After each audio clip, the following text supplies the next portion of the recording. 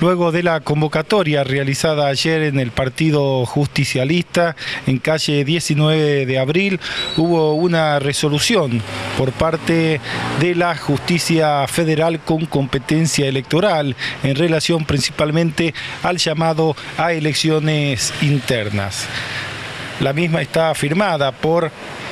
el doctor Juan Horacio Chani, secretario electoral, quien recibió, y el doctor Mariano Wenceslao Cardoso, juez federal de Jujuy, con competencia electoral, en donde en su cuerpo destaca algunos aspectos jurídicos con fallos, leyes y artículos que están relacionados con esta causa, donde lo más importante de destacar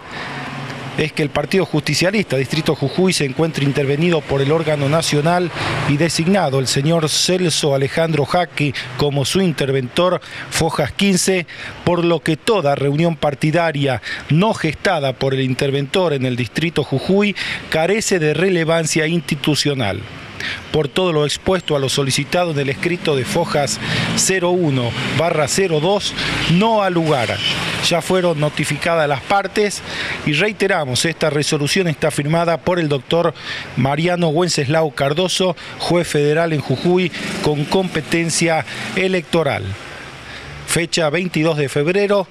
del año 2017.